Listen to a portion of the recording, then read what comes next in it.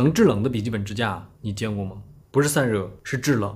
支架的外观简洁轻便，可折叠，方便携带，两面都有防滑硅胶，可以调节五档不同的角度。咻，主角出场。要根据笔记本的发热位置来固定制冷器。USB-C 口供电，在很短的时间就可以急速降温。当前室温为二十六摄氏度，我先把它用手捂热，带上我非常有气质的体温。目前表面温度为三十摄氏度。我们打开计时器和制冷器开关，二十秒的时候到了低于室温的二十一点三摄氏度，四十秒的时候达到了十八点九摄氏度，一分钟左右到了十七点七摄氏度，几分钟后达到了远低于室温的十二摄氏度左右。十二寸到十八寸笔记本、平板电脑基本都可以使用，还可以给你燥热的手机降降温。从此以后，你可以在炎热的夏天尽情的玩游戏、做剪辑，高效的工作。